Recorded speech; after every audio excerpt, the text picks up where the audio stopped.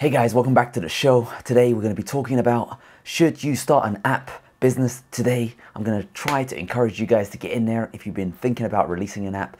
Why now is the time to do it? And the reason why is I think things have actually bounced back. I'm just going to take you through my journey over the last six months with making a subscription based app.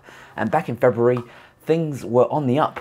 I had 10 paying subscribers. 10, I know it's not much, it's a little bit, it's baby, baby money. Imagine how it grows in the future, but I had 10 paying subscribers, and in that one month, it grew 50%. It went from 10 to 15 in February. Things were about to skyrocket for my app. I was very excited. And as you can see, in March, we went from 15 paying subscribers to 20. So from February to March, we went to 15 to 20 things were on the up. Coronavirus had just hit the world, just about touching America right now.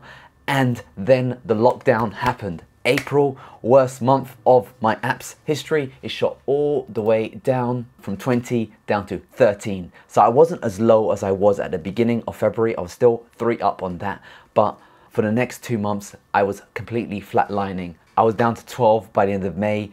Things looked grim in my industry for this app that I'm using, um, it's for doctors, cosmetic surgeons, that kind of stuff.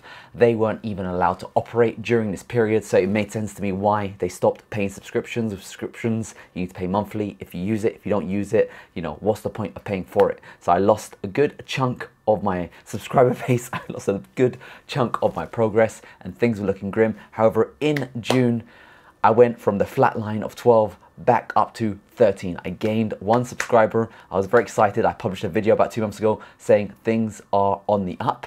And boom, look at July. 20 subscribers again. We grew 50% in July. So I saw in February we were doing well. March went higher and then boom, down and up again. V-shaped recovery is here. Now I'm not a fortune teller. I'm just a positive kind of dude and I'm sensing this word on the street. I'm seeing the restaurants back open here, at least in Australia. And my clinics, the people that are using my subscription base, they're worldwide. Actually, most of my subscribers are in America. And I guess most of the businesses, cosmetics, that kind of stuff, they are back in operation. And one thing you need to remember is like the governments of the world have printed a hell of a lot of money. So all of the, you know, markets not buying stuff anymore, currency isn't worth as much as it was. So maybe we can spend a bit more money. I don't know what the situation is. I'm seeing a bit of prices going up for certain items. So there is a bit of inflation, whether it affects the big markets like the housing markets and all that kind of stuff. I don't know.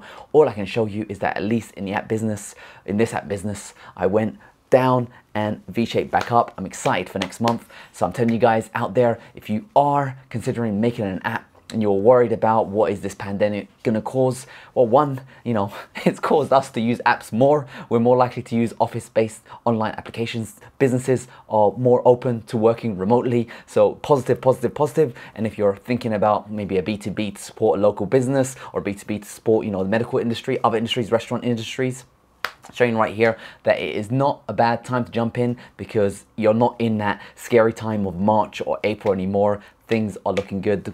Well, it's kind of like stabilizing on the state of play as it is. Of course, I'm not a fortune teller. I can't tell you what's going to happen in the future, but I'm telling you, like, if you're thinking about it, don't procrastinate, just start learning, get back on it. Everyone is gonna be excited for it, fingers crossed. But I'd love to know how your app stories are going out there in the world. Let me know in the comment section below, what apps are you making? How is your app performing in this time of interestingness? 2020, the year of interestingness.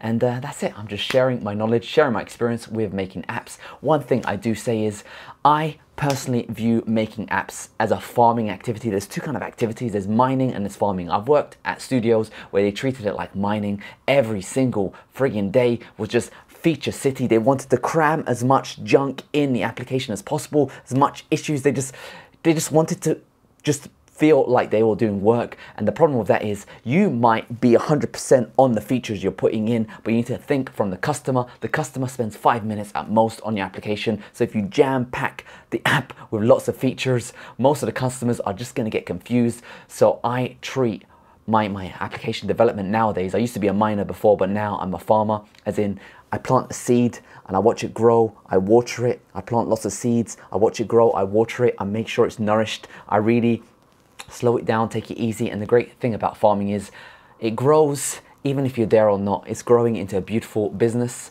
fingers crossed, you just keep on supporting it, keep on watering it, and things go well. The other activity, of course, is mining, maybe trying to be a copycat app, just trying to cram as many features as possible, just hitting the wall as much as possible, trying to figure out, trying to strike that gold that could drive you crazy. That's going to cause a lot of burnout. That's going to cause a lot of issues. I remember my last company, I was getting married. I was on holiday and I was getting married and, and they, were, they were messaging me.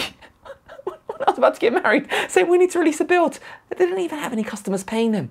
It was, I didn't understand the logic. So I recommend if you can, try to get in the product mind of things and try to just think on the customer, on the feature, and slowly cultivate that user base rather than just trying to smash for gold, unless you've got the energy. Of course, I'm older than maybe some of you guys out there. If you're young, mine away.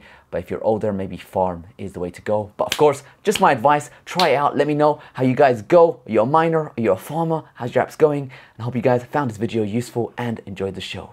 Now back to work.